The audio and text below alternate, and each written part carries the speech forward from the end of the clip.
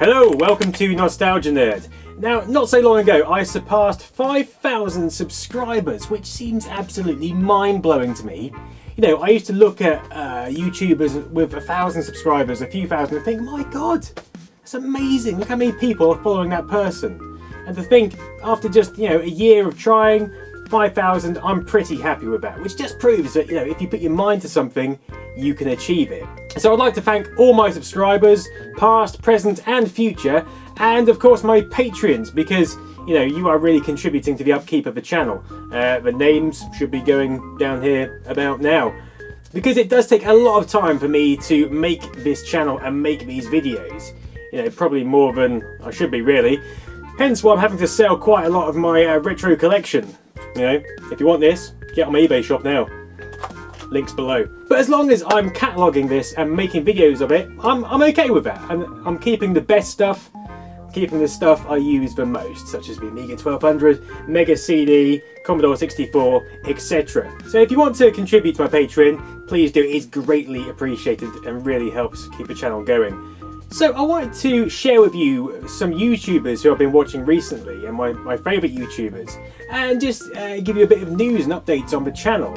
I want to talk a bit about what the channel is trying to achieve. I guess what I'm trying to do with Nostalgia Nerd is share nostalgic memories with people just to trigger that spark in your mind, just to remind you of that memory from days gone by when you had less responsibility, everything was easy, and just bring that feeling, that overwhelming feeling of safety, of excitement, you know, of, of joy to you. And if I can do that to at least one person, then the channel has been a success in my eyes. And you know, it was from that standpoint, you know, when when you know when the world's going to shit around you, when I started to get into channels like uh, LGR.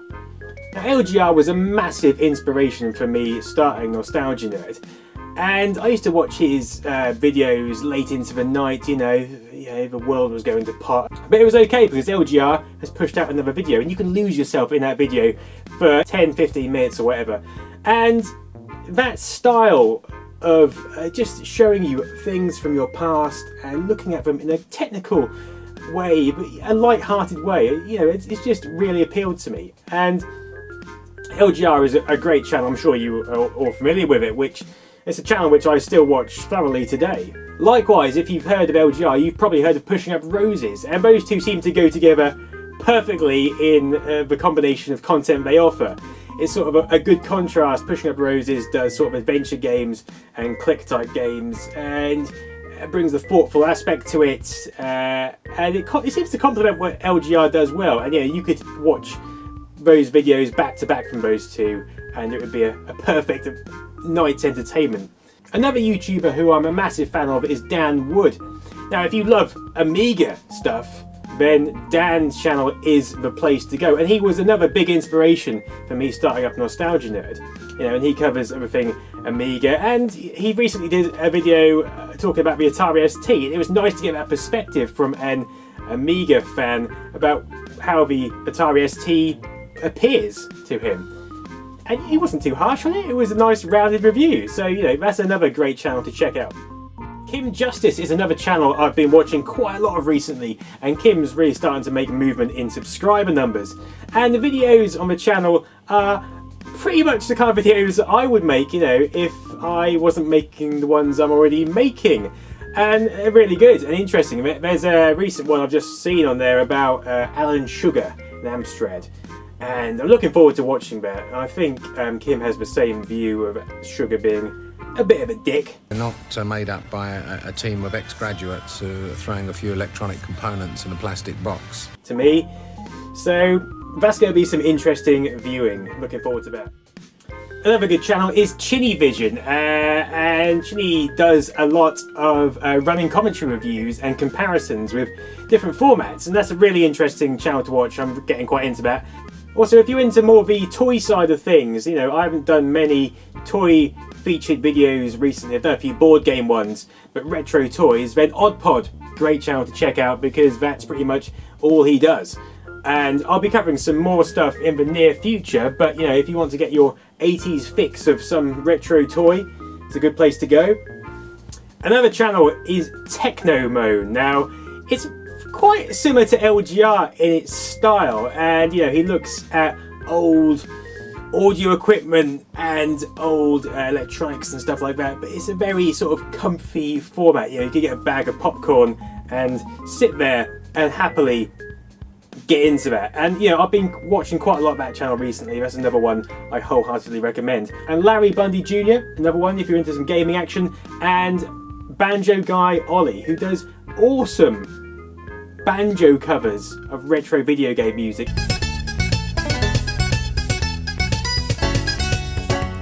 And he's just started a new channel uh, following the MSX series of computers. It was incorporated in his old channel, but he's moved it across to a new channel, I think called uh, BG Ollie, which is also definitely worth checking out. You may also notice that I've recently joined Retroware, and Retroware do their channel where they do the video game years, which is another one worth checking out. Uh, and what does that mean? Well, me joining Retroware TV means that I get to put my videos on their website and they tweet about them and I put their banner on my videos and yeah that's pretty much it I don't get paid anything for it there's nothing else ongoing with that you know I share their name they share my videos and then I can represent them at uh, trade fairs and retro gaming conventions if I if I fancy it in the near future that's pretty much the scope of that situation so I felt it was just a good thing to get my name further out there and, you know, promote the whole retro gaming community as a whole because we are one. We are stronger as one. Hence this video. and also, given that some of my favourite YouTubers are on the Retroware TV bandwagon, I was like, hell yeah! So yeah, I mean that's it. I just wanted to drop a quick update of the channel. I might make a few light changes to the channel going forward. I may start a new uh, Modern Mondays section where on Monday I look at more modern things, but still things rooted in retro. You know, so I might look at some new books about the retro scene, or you know, some merchandise, or things that remind me of retro, or new games which are inspired by retro, or even compare an old retro game to a new retro game. Anything like that, just to mix it up a little bit. I did one on Monday about a Game of Thrones magazine, just a quick off the cuff one. You guys didn't seem to like it too much, but hey, that's the way I'm going. So, like it or lump it. Well, if you lump it too much, I'll probably stop it, but you know, that is um, democracy for you, even though this isn't a democracy, but it could be if you stop watching my videos. Ah! How'd you get there?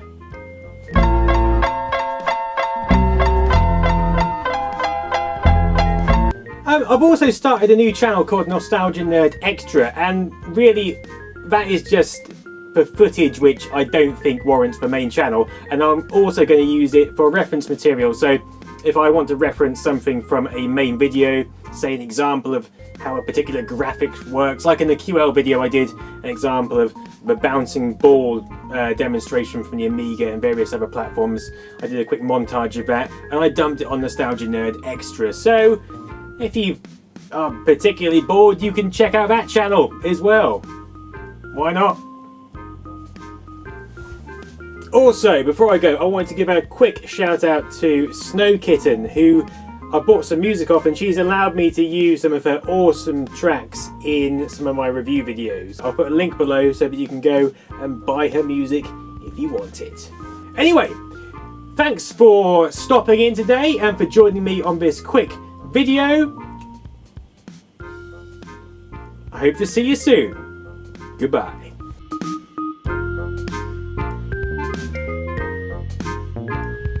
God, you put hair in my tea. There's bloody hair in my tea, cat. What the hell is this? What the fuck is this, cat? You ignorant bastard. I can't bloody turn the camera off now.